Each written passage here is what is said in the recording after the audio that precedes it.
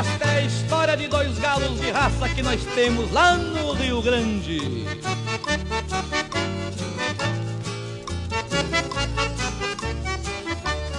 Eu lá no meu rancho, quando ligo o rádio, dois galos de raça eu escuto primeiro. Num lado é o Gildo pedindo parelha, do outro é o Teixeira pedindo parceiro. E eu atendendo um pedido do povo, por ser bom juiz e ser bom companheiro. E hoje pensando me deu um estalo, pois sempre realizo aquilo que falo.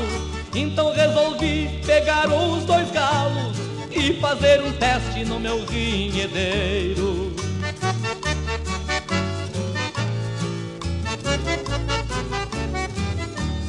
Eu peço licença ao meu povo gaúcho Pra botar na rinha dois galos parelhos O Gildo que chama o meu galo prateado E o Teixeirinha meu galo vermelho eu quis evitar esta rinha dos dois, mas galo empesado não houve conselho.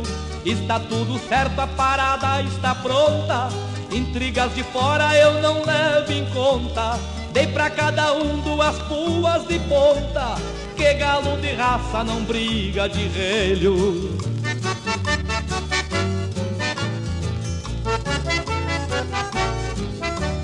Se eu pego prateado, não ganho e nem perco. Se pego vermelho, não perco e nem ganho. Pois sei que esta rinha termina empatada. Outro resultado será muito estranho. Pois estes dois bichos são de puas finas. Que o povo gaúcho escolheu no rebanho. São dois puros sangue, brigam até morrer. Depois disto tudo, a plateia vai ver que se por desgraça um deles perder, vai ser um fiasco daquele tamanho.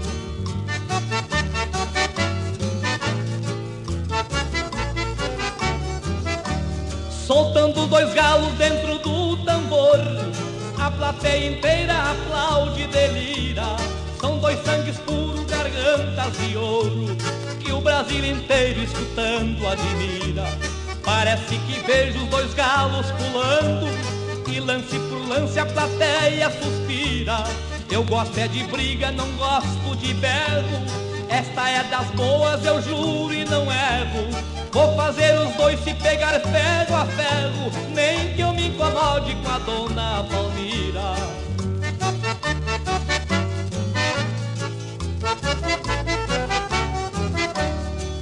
Depois desta rinha fico descansado. Termina esta história que de longe vem. É um se gabando em prosas e versos, e o outro falando na raça que tem. Eu quero que tudo seja decidido. Não estou aí pra enganar ninguém. E como esta história está chegando ao fim, eu peço aos dois se acharem ruim que calcem as puas, venham contra mim, que em briga de fama eu entro também.